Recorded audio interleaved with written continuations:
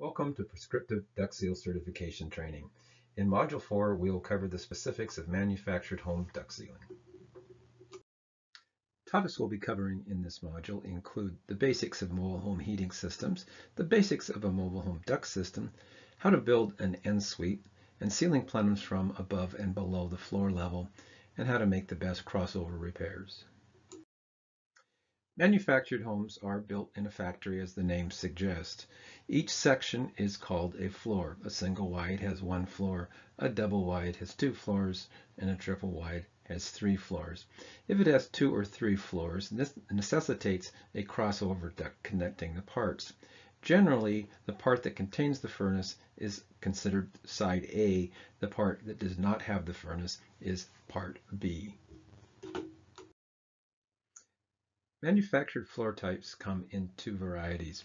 One is when the joist for the system runs the lengthwise of the manufactured home. When this is the case, the ducts will be right up against the floor. Many builders build it with crosswise ducts. That means the joists run from side to side. The ducts will lie beneath the joist level, and that's what creates what is often referred to as the belly. When this is the case, there will be a transition piece from the floor to the top of the manufactured home plenum.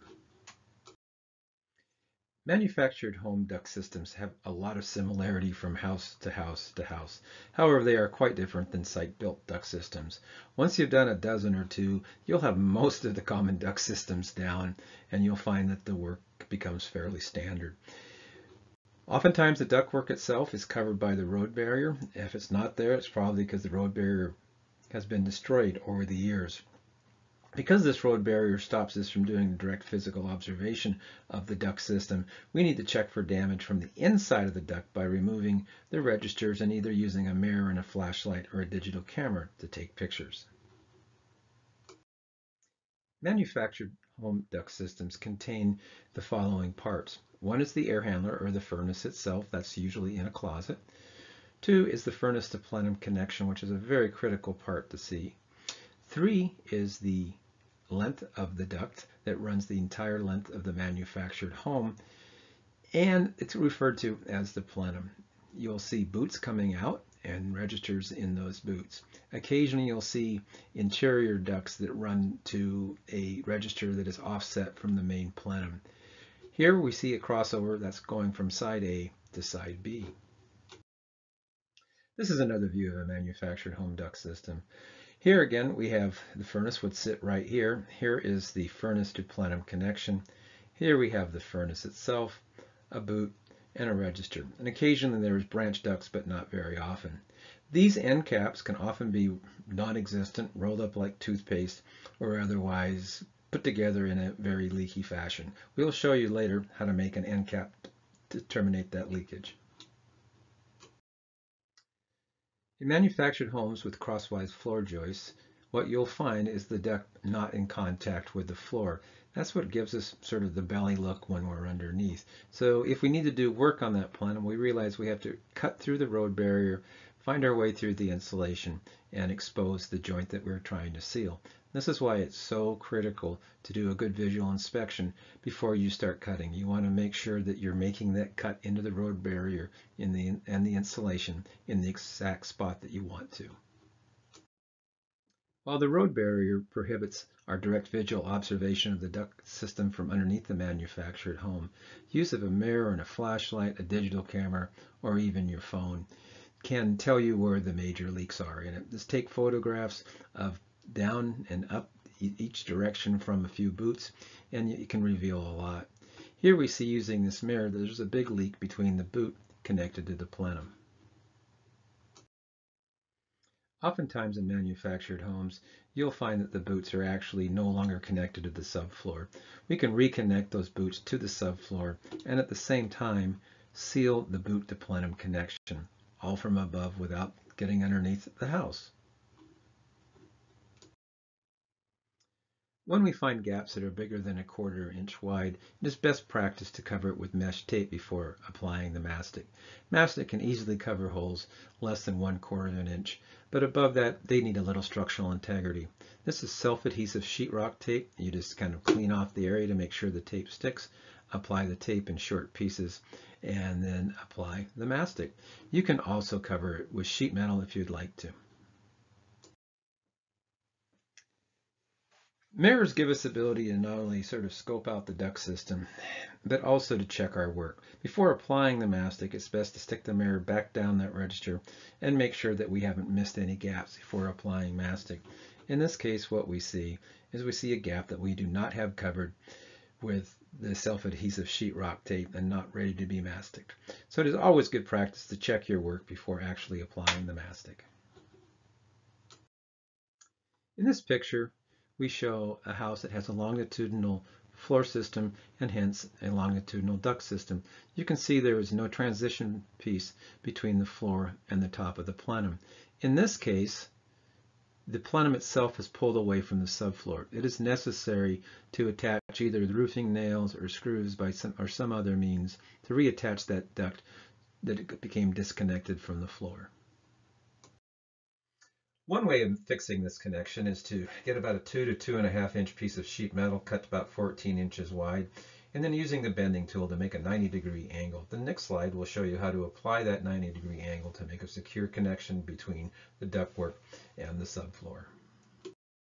The L of the piece that you just created fits onto the top of the plenum where you can bend it back from the floor and secure it tight with a few screws. We recommend three screws. And then you connect the top piece to the subfloor. This picture illustrates the use of a sheet metal hammer hammering in a half inch flathead roofing nail. The advantage of the roofing nail is the head is quite thin so the register will fit back in and the width of the head gives you good contact to hold that register in place. Any remaining holes can be covered with mesh tape and mastic applied. It's important to make sure you get mastic on all the holes, gaps, and seams. To summarize the first part of this module, manufactured home duct systems always include rectangular plenums. On double wides, you'll have two. On single wides, you'll have one. And of course, triple wides, you can have three. Oftentimes, you'll find that the crossover has issues, rodent problems, dog problems, or gravity just taking back a bad connection. Always check your work. You can do this with cameras from the inside of the duct systems and make sure you seal all takeoffs and registers. Now we're going to talk about building an end sweep. An end sweep goes at the last register between the end of the ductwork and the end of the manufactured home. This is a technique to seal off which is oftentimes a very bad terminus connection made at the factory. Topics we'll be covering on how to build an end sweep include how to identify where to put the end sweep, cutting the sheet metal, or aluminum valley flashing often works um, a whole lot better and is easier to work with, how to fasten that sheet metal or aluminum valley flashing to the existing ductwork, and sealing the end sweep so that no air leaks out when under pressure. This picture shows what a typical end cap looks like from the factory. As you can see, whatever duct tape was on it has fallen apart. No screws were ever put into it. And that air is just going to go straight out here and straight out there. And basically, a lot of that paid for hot air will just be going to heat um, underneath the manufactured home. Our goal is to stop that. If you wanted to, you could go underneath the home, find exactly where it is, and patch it that way. We're going to show you a way that you block the duct past the last register with a sheet metal sweep or duct board and then seal it with mastic. This photograph shows leakage around a faulty factory end sweep. It's better than the last picture we showed, but still lots of opportunity for leakage. Sealing those end sweeps are a good source of leakage reduction. In this case, we'll be building an end sweep from aluminum valley flashing. It is lightweight, easy to cut, and less expensive than sheet metal. Here we're going to show a cut piece of sheet metal that will tightly block the duct after the last register. It's important to make sure it's the last register. If it's not the last register, you will cut the airflow off to whatever the last register is, resulting in a callback because the customer is uncomfortable. You begin by cutting a piece of sheet metal as one quarter inch longer on all sides than the inside dimensions of the duct. Then cut quarter inch notches out of the corners of the sheet metal. Now place the sweep into the section of duct. Make sure the back is towards the end of the mobile home, otherwise you'll be deflecting the air in the wrong direction. And use sheet metal screws to fasten the sheet metal to the ductwork. As an alternative to using sheet metal end sweeps or valley flashing end sweeps, you can get ductboard. Ductboard is a form of ductwork that has an aluminum face on one side. Make sure you put that aluminum face towards the ductwork. That is the air barrier. If you make a pumpkin cut, and by pumpkin cut I mean how you would cut the top out of a jack-o'-lantern, you have a slight diagonal so the top of the pumpkin cannot fall into the pumpkin. And in this case, the ductboard cannot push back into the end of the duct system. Make sure the foil is facing you or towards where the air is coming from, and then apply mastic liberally. To summarize what we just covered, folded metal at the end of the ductwork is often quite leaky. We can get past that or fix that by using a sheet metal sweep at the end or using ductboard. If you're using sheet metal or aluminum valley flashing, make sure you use sheet metal screws to fasten the ductwork to the existing duct system. And of course, when we're finished, we're going to seal every joint and every potential leak with a liberal coating of mastic. The next section will focus on sealing the furnace to plenum connection. This is a critical connection to seal. It is the highest pressure in the duct system and the hottest air in winter and the coolest air in summer. The section will highlight how to seal the furnace from above if your licenses permit you to do such and sealing the furnace to plenum from below. If your professional licenses allow you, you can unplug the furnace fan and in many cases, you have to disconnect the heating elements also. If your license does not allow you to do this, then certainly don't do it. But if you are allowed to do that, you can take out the fan, disconnect the, the heating elements, and voila, you have access to the furnace to plenum connection, as well as in this case, because the crossover is directly beneath the furnace, the start of the crossover takeoff. As the picture shows, there's some large gaps all around this area. To cover the gaps, you could have used self-adhesive sheetrock tape, or in this case, we cut small pieces of aluminum valley flashing to make the patch and make the patch stronger. On the smaller parts of the gap, we're not using metal patches. We are using that self-adhesive sheetrock tape that we mentioned before. That gives you a nice strong underlying fabric that the mastic can adhere to, and essentially you're making a cast. From this one connection, we were able to seal the furnace to plenum connection, as well as the top part of the crossover takeoff. As you can see, the mastic was liberally applied. There's no air that's going to leak out of this after this job. If your licenses do not allow you to pull furnace fans and disconnect the heating strips in a safe way, you'll be required to go underneath the house to get the furnace to plenum connection. This is a case where it's really important to know exactly where you are underneath that home. You know, the old adage of measure twice and cut once. You have to cut back the rodent barrier to expose this joint. We'll be showing how to fix that rodent barrier at a later point. What you do is you can make a pilot hole in the plenum using a sharp object. In this case, we're using an old dull duct knife. Make sure that you're cutting directly below the furnace. It can be really depressing to cut the hole in the wrong place. Next, we get our shears or our snips out to cut a hole large enough to allow access into the interior of the plenum. Before doing this, make sure you lock out, tag out the electric breakers that serve the furnace. Once we have access, there's all sorts of work to be done. As you can see, the tabs from the original furnace to plenum connector were never folded over. Simply fold those tabs over. Before putting your hands into that hole, it is best practice to take some duct tape and go around the edges, overlap them, so there's no sharp edges before you stick your arm in there, potentially exposing yourself to a sheet metal cut. Once again, cover any big gaps with small pieces of sheet metal or self-adhesive sheetrock tape and apply lots and lots of mastic. You've made the hole. There's no excuse not to get everything you can reach.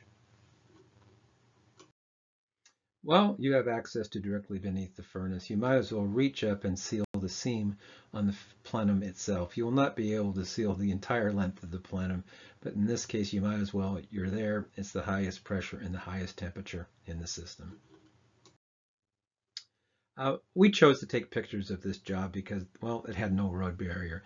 Obviously, in the homes you're working in, it will not be laid bare like this, but it is good for illustrative purposes.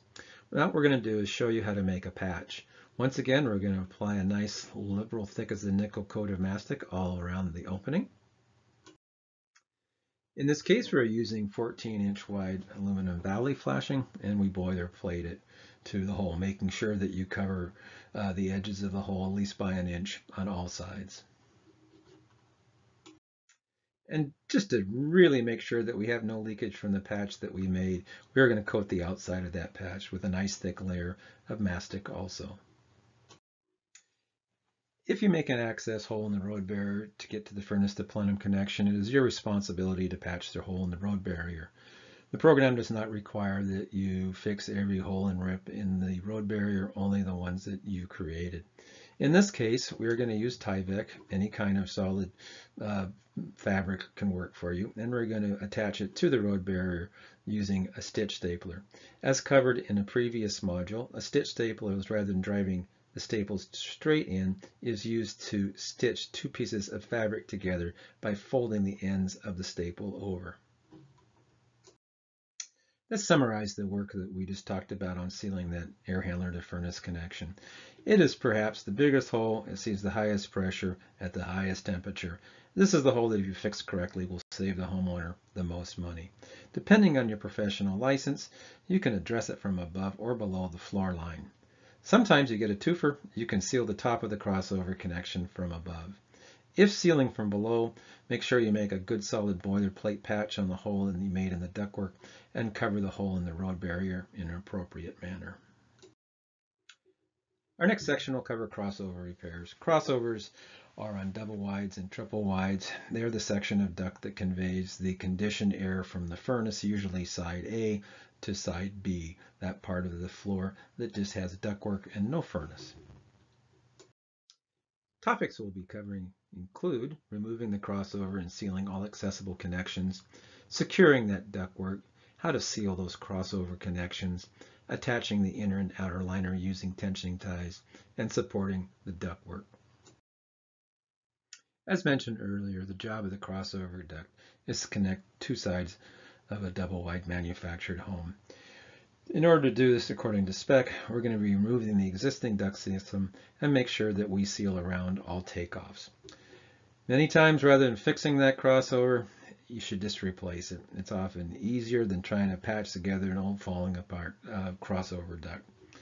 Sometimes you get a twofer if that crossover connection is directly underneath the furnace. Sometimes it's possible to seal it from above, and sometimes you can seal it from below just by dropping the crossover and giving you access to that furnace to plenum connection. As always, make sure you lock out and tag out the breaker serving the electric furnace.